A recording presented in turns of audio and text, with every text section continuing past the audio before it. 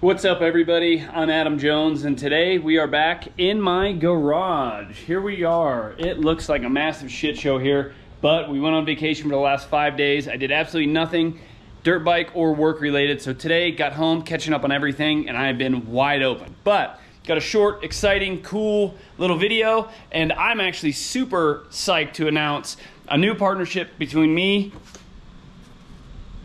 and HJC Helmets stoked on this. Uh, these guys jumped on the program this year, so I'm going to be running their stuff.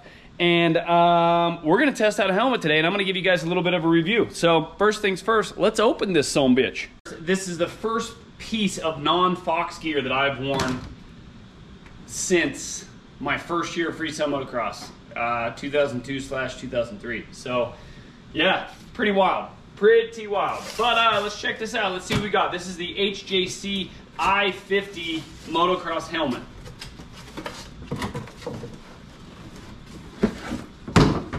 All right, all right, here we go. Let's see what color I got. Ooh, sick. Uh, we got a gloss black one. and got a couple hats shoved in here. Oh, no. Love a good hat. Stoked on those. Yeah, so we got the i50 here. Let's, uh, first things first, let's adjust the visor to a proper dirt bike rider area, which is up, not down, okay? Look, you go from first time riding to professional, that fast. Okay, that's a pro tip you don't want to forget right there. Never visor down. I don't give a shit if the sun's in your eyes. Deal with it. Anyways, we got the i50 here. Uh, I think it looks sick.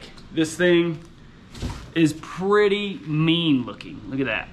I'm watching myself in the front camera here just to make sure I got it all in frame, but dude, I would say pretty badass. I like it.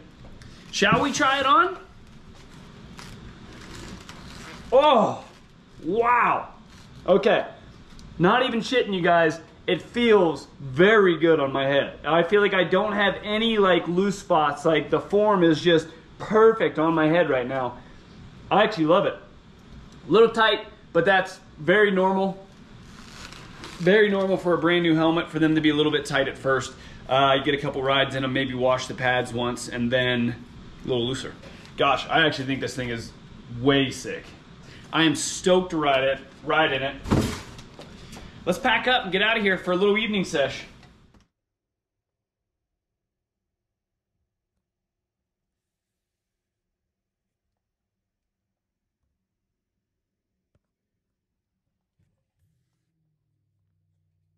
This thing's got all the approvals of all the other major helmet brands that you're used to.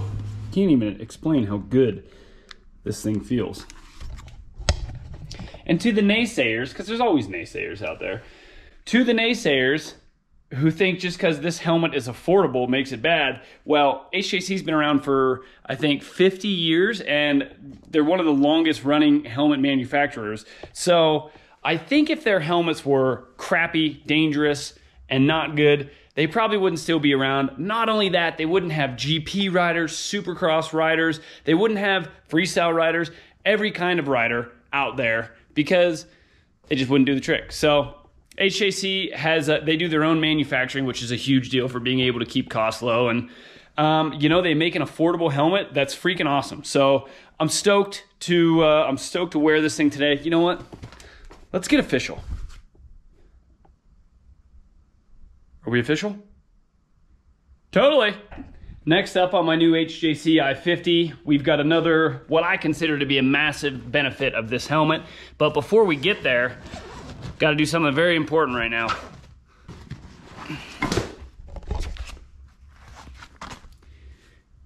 Got to get rid of old white lightning. So, uh, in case you guys haven't noticed, I have this, uh, I've kind of turned my garage, or am turning my garage into like trophy room, memory room. So I've got like all my, you know, monster helmets, got all monster rockstar helmets, um, Blair stole one of my Rockstar helmets over there. You know, we got trophies up there, medals, more memorabilia. You know, it's a massive work in progress, but the strange thing is, is I really want to keep this helmet because to me, this helmet symbolizes a time that I was just basically really down on my luck in freestyle motocross and everything fell apart for me basically. And, um, it was the first time I had a non-painted helmet ever in my career. It's the point being, this guy right here is gonna go somewhere on this memory cool thing wall because I don't know. It still just means something to me. It's a landmark in my career. I went back to a solid helmet after being in uh, energy drink helmets for 17 years, I think. So it's weird, right? But I'm definitely gonna keep this one. So next thing we do is we put this guy in here. So here's what I have heard is the bonus of this thing. First off, I'm gonna loosen this up a little bit. I actually like these uh, these as well because they're you can do them with your fingers, which most all of them that I've ran the last 20 years you can't. So I always have to carry a tool to take my visor on and off uh, when I ride. But that being said, look at this visor. Look at this thing. I'm not gonna say it's not breakable because it's obviously breakable, but dude, you really don't have to worry about this thing in your gear bag. Um, so to me, that's a massive plus because riding freestyle motocross and traveling for a living, every show you got to take your visor off, you got to put it back on before the show. I know that sounds like nothing, but when you get to a show, you got a million things to do, and not having to deal with a visor before show and after show is something I like. So Gear bag is now equipped. Shit, gonna have to change that. All right, while I got you here, just remember, little bit of bike maintenance goes a long way. So lube your chain. Muc-Off makes three different kinds. We've got the dry chain lube, the wet chain lube, and the all-weather chain lube. I live in the desert, so obviously gonna go with the dry chain lube. And something I learned only just recently, you know the proper way to lube your chain? It's this way, right here underneath, not up here. Don't do this one. Do this one. Learned that from Justin Brayton just this year. He yelled at me. He's like, who's been lubing your chain? And I'm like, me. And he's like, that's why your chain sucks. So, dry chain lube, wet, or just go the lazy way, all weather. Muc-Off products. Lube that chain, keep that thing sounding good. Whoo, bike's all loaded up ready to go. I'm gonna go inside and try to get like 30 minutes of chill time because I woke up this morning and I've been completely wide open ever since. So uh, let's see if we can get a little bit of chill, restore some energy before I gotta go out and crush a riding sesh. I honestly can't believe I almost forgot this. The most important part.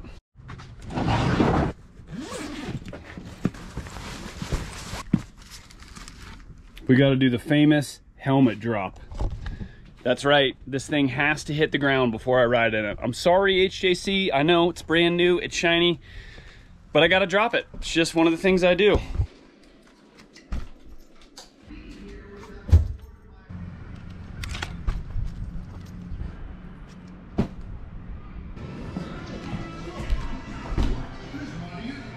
All right, I tried numerous times, but Link and Blair both said it didn't count. So here goes, here's a real one. Oh my gosh, that hurts my feelings. Worth it though, it's gotta happen. It's back in the gear bag, it's ready to ride. Almost forgot that, can't believe I almost forgot it. That's like a, that's a tradition for me. Has to happen. It's gotta hit the ground before I go riding it. So, helmet's ready, let's do it. Pit stop on the way to riding to get Doug from my mom's house. She been dog sitting for us. Doug Bud.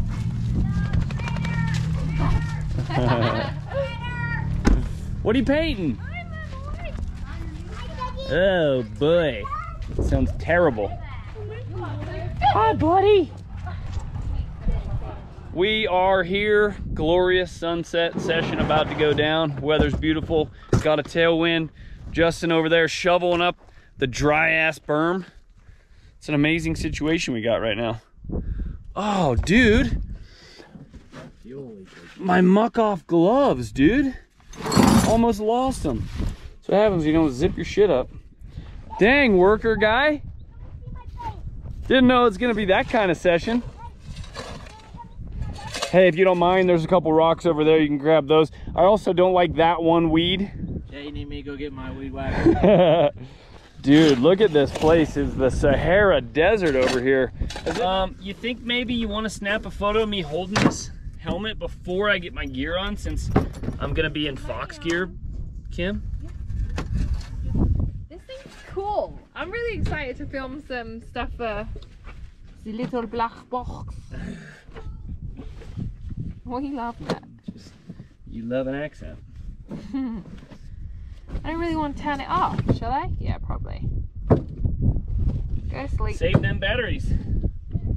I know, I was kind of worried because we left it in the truck the entire time we were in Utah. Really? Have an internal battery or like the blaze? No internal.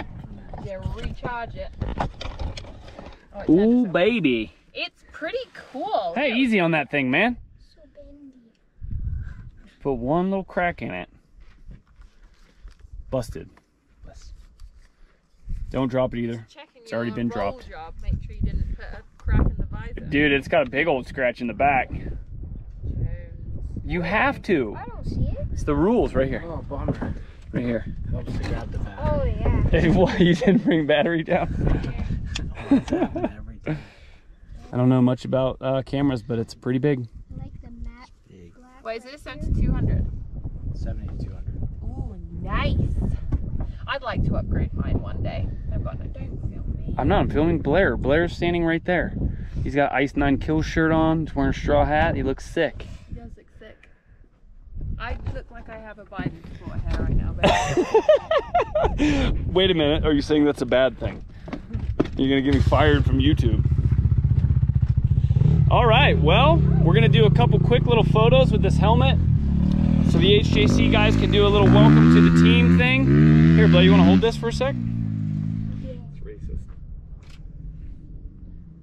oh no, that's Photo shoot done. It's time to ride in this baby. Got a little bit of warming up to do. I actually haven't practiced in like two and a half weeks up here. I rode, just not up here. I-50, HJC I-50 test run. How's it feel in gear? Oh, baby. Actually feels really cozy.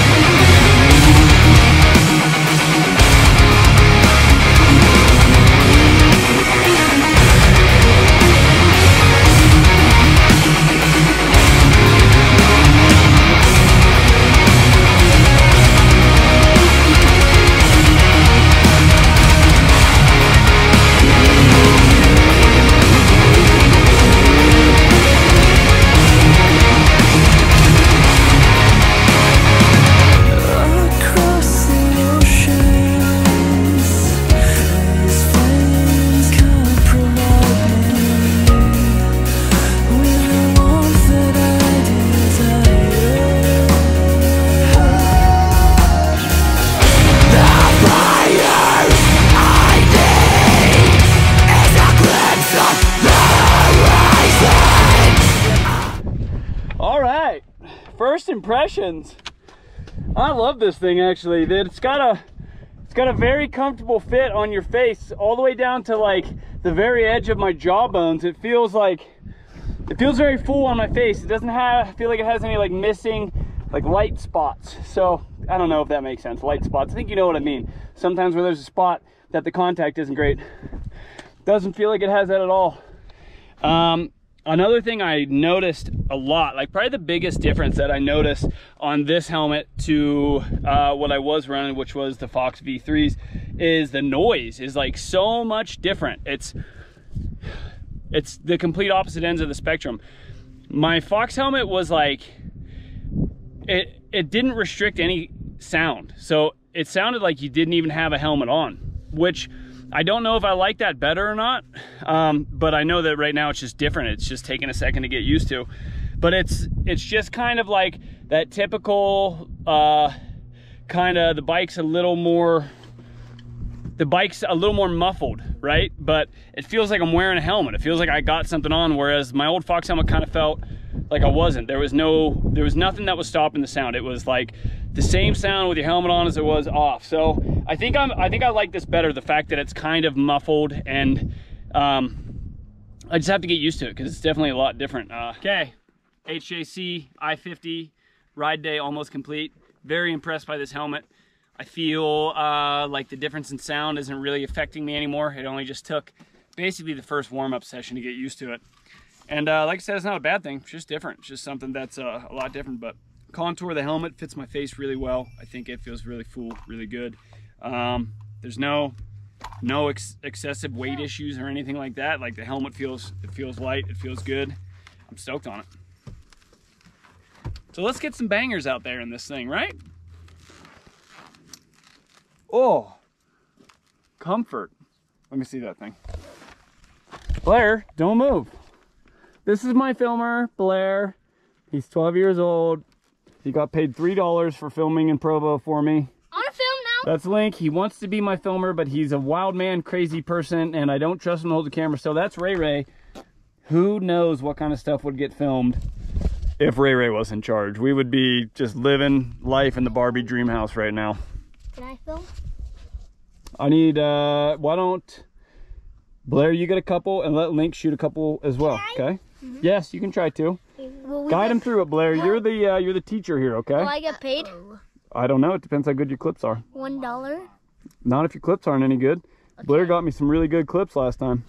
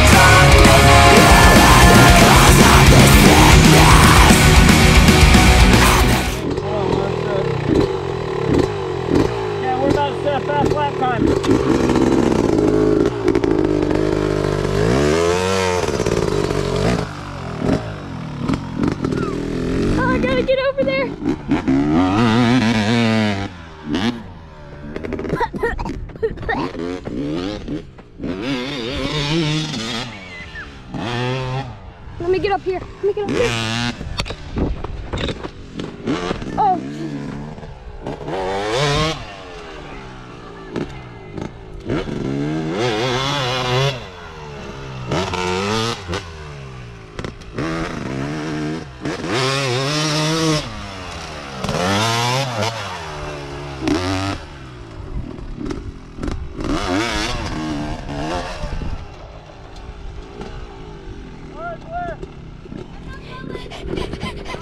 学之。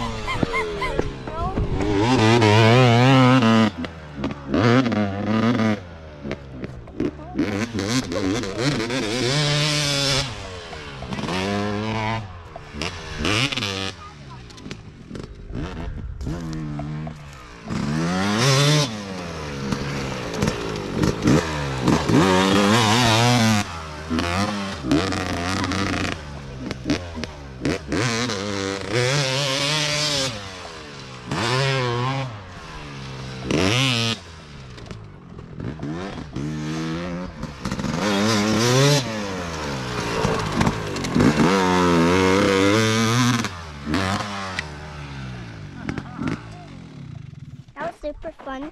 Is it super fun? Good. Is it super is. fun for you? Yeah, it is super fun. I am small. That's why I go fast. I go fast too. Yeah. Where's that rock that?